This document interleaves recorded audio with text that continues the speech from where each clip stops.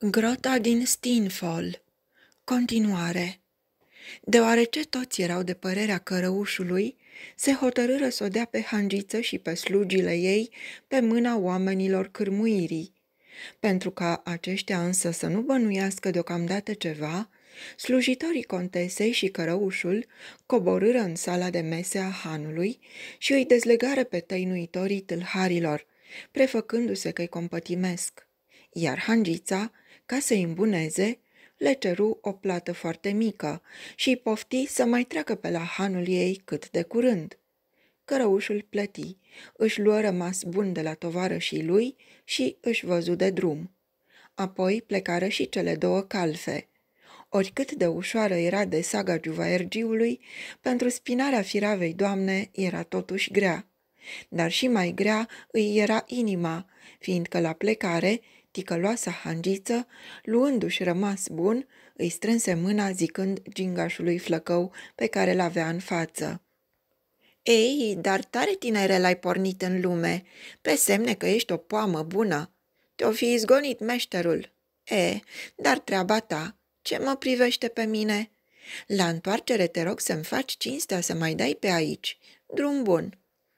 Contesa se temea grozav să nu trădeze vocea ei catifelată, așa că nu îndrăznea să scoată niciun cuvânt. Dându-și seama de ceea ce se petrecea, faurul își luă tovarășul de braț, o salută pe hangiță și porni spre pădure, îngânând un cântec vesel.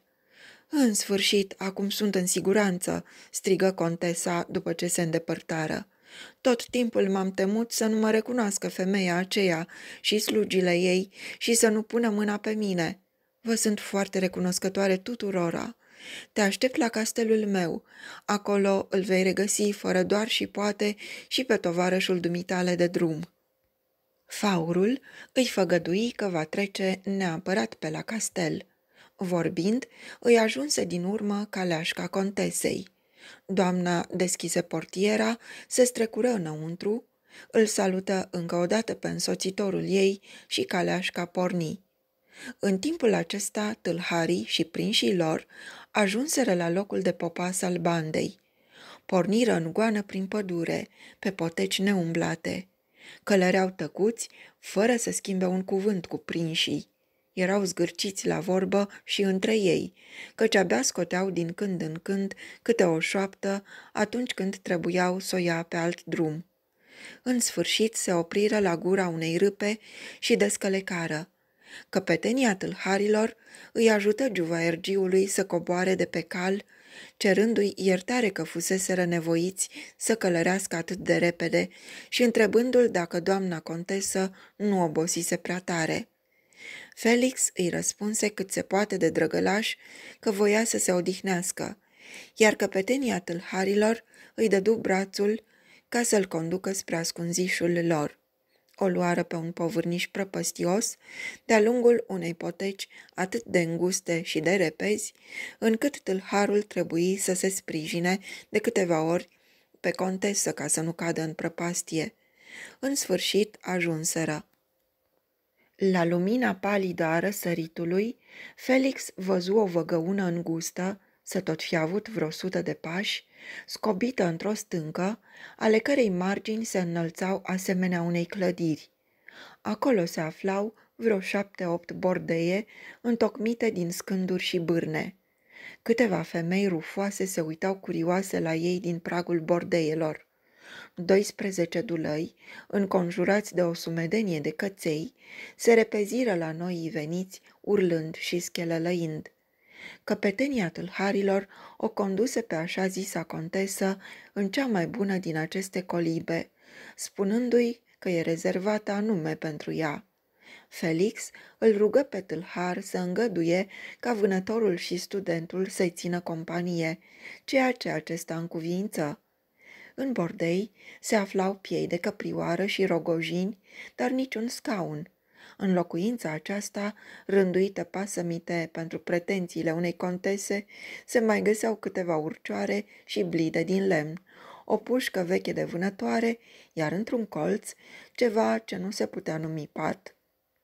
Un culcuș, întocmit din câteva scânduri și acoperit cu niște velințe de lână.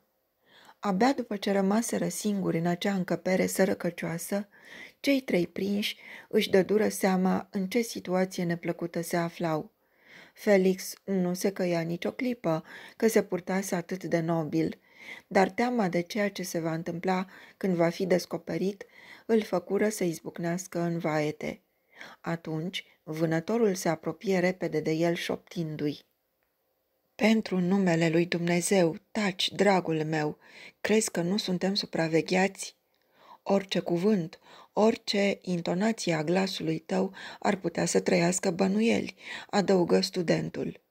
Vrând nevrând, Felix își înnăbuși plânsul. Vă rog să mă credeți, domnule vânător, zise el, că nu plâng fiindcă mi-ar fi teamă de tâlhari sau pentru că m-ar speria bordeiul ăsta nenorocit, ci din altă pricină.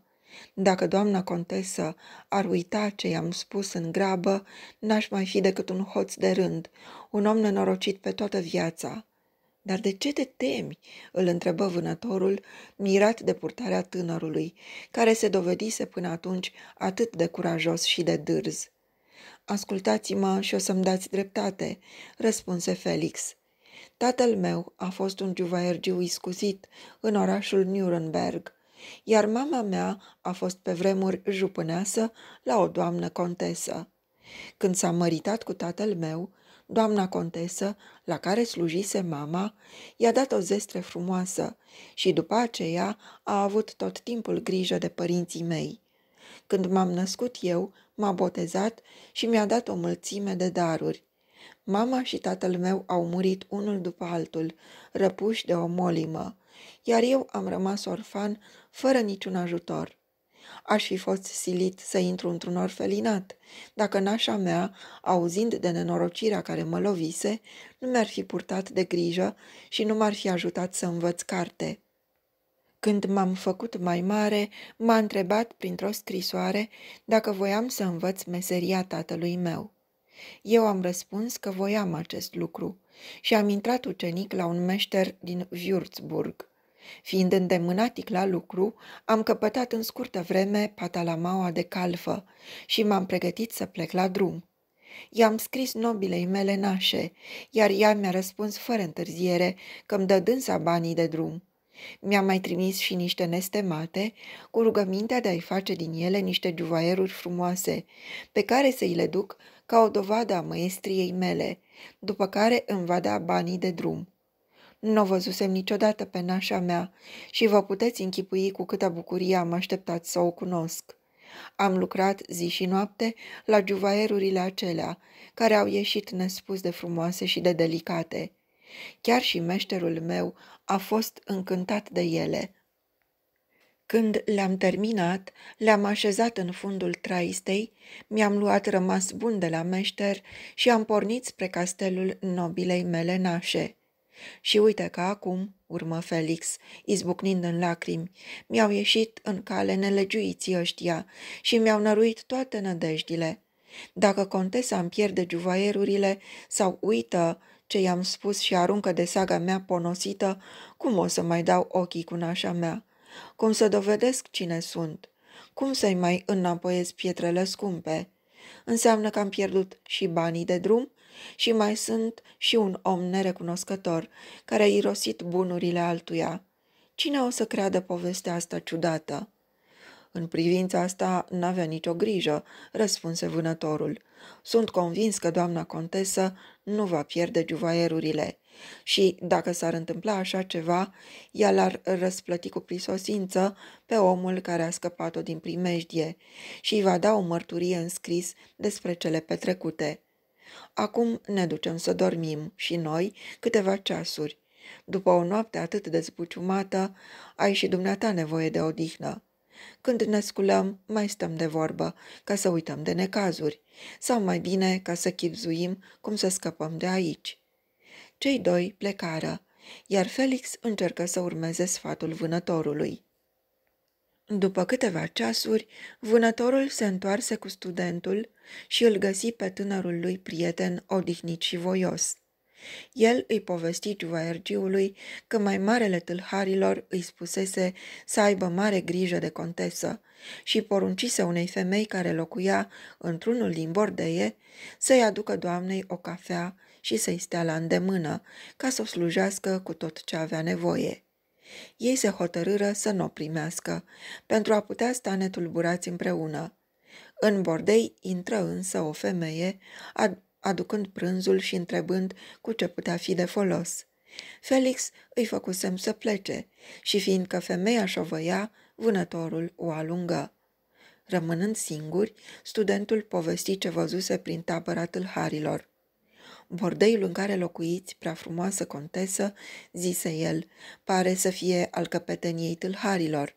Nu-i prea mare, dar e cel mai arătos ca celelalte. În văgăună mai sunt încă șase bordeie în care locuiesc femei și copii. Rare ori rămân aici mai mult de șase tâlhari. Unul stă de pază în apropierea bordeiului, celălalt stă jos, la capătul potecii de unde începe povârnișul, iar al treilea străjuiește sus, la marginea văgăunii. Străjile se schimbă din două în două ceasuri. Paznicii sunt însoțiți de câte doi dulăi și toți veghează cu atâta strășnicie că nu poți să faci un pas afară din bordei fără să te latre câinii. După ce m-am odihnit, mi-a mai venit inima la loc și voi mă mâhniți acum din nou, ripostă Felix. Nu-ți pierde nădejdea. Dacă te tem de trădare, mai bine să vorbim despre altceva. Să nu ne mai amărâm degeaba. Domnule student, la Han a început o poveste. Spune mai departe, fiindcă avem destul timp. Nu mi-amintesc unde am rămas, răspunse tânărul. Povestea se numea Inimă rece și ai ajuns acolo unde cârciumarul și ceilalți jucători l-au zvârlit afară pe Peter Cărbunarul. Da, da, mi-aduc aminte, în cuvință studentul. Atunci, dacă vreți să urmez, ascultați.